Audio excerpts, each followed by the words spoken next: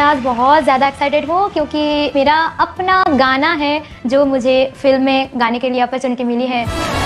ये मेरा पहला टर्निंग पॉइंट है जहाँ की मैं अपने प्लेबैक सिंगिंग के लिए अभी गाना गा रही हूँ और बहुत अच्छे से गाऊंगी मेरी तरफ से। इन्डियन आइडलमा प्रतिस्पर्धा गरिरहेकी नेपाली मेनुका पौडेलले प्रतिष्ठित भारतीय फिल्म सलारमा गीत गाउने मौका पाएकी छन् आइतबार राति प्रसारित इन्डियन आइडलको पछिल्लो एपिसोडमा मेनुका स्वयंले यो जानकारी दिएकी हुन्।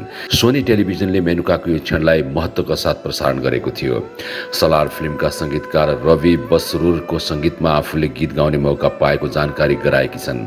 उनले भनेकी छन् मेरो पहिलो फ्लेवा गायनका लागि पहिलो गीत गाइरहेकी छु। मेरो तर्फबाट निकै राम्रोसँग गाउनेछु। उनले त्यो क्षण आफ्नो टर्निङ पोइन्ट भएको बताएकी छन्। मेनुकाले इन्डियन आइडलको स्टेजमा यो जानकारी गराएपछि खुसी र सम्मानमा सबै जजले उठेर सम्मान व्यक्त गरेका थिए। साथै उक्त एपिसोडमा इन्डियन आइडलले मेनुकाले सलारका लागि स्टुडियोमा पुगेर गीत गाएको भिडियो पनि देखाएको छ।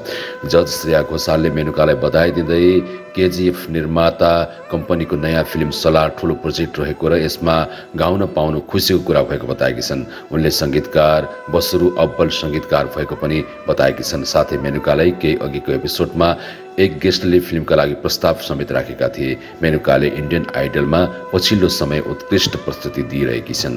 तपाईँलाई मेनुका पौडेलको प्रस्तुति कस्तो लाग्छ कमेन्टमा लेख्न नबिर्सिनुहोला। तपाईँलाई हाम्रो युट्युब च्यानल स्टोरी एभ्री सबको कथा कस्तो लाग्छ कुनै सल्लाह सुझाव र प्रतिक्रिया भएमा कमेन्टमा लेख्न नबिर्सिनुहोस्। लाइक कमेन्ट सेयर गरिदिनुहोस्। सब्सक्राइब र बेल आइकनलाई पनि थिच्न नभुल्नुहोला। हामी भने तपाईँमा आज फेरि पनि ताजा अपडेट लिएर उपस्थित हुनेछौँ। तबसम्मको लागि बिदा दिनुहोस्। नमस्कार।